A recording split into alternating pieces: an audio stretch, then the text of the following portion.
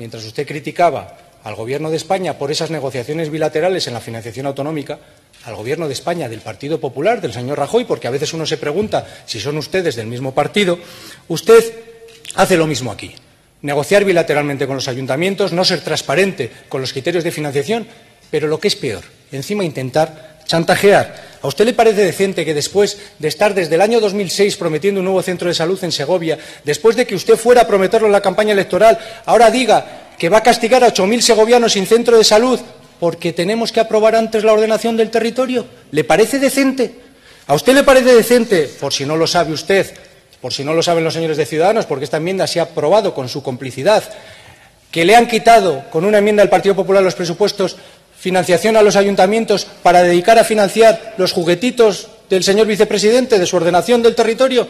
Casi cinco millones de euros menos de financiación a los ayuntamientos para las mancomunidades de interés general. ¿Lo saben ustedes? Miren, nosotros no vamos a tolerar que intenten chantajear al Grupo Socialista usando de rehenes a los ayuntamientos y a los ciudadanos de Castilla y León. La pregunta, señor Herrera, es si está dispuesto a tolerar ese chantaje usted o el señor Mañueco, que se sienta detrás. Quizá, como llevan tanto tiempo haciendo política así, no saben qué hacer para mejorar la financiación de los ayuntamientos y con eso luchar también contra la despoblación, para la repoblación de Castilla y León, yo se lo digo.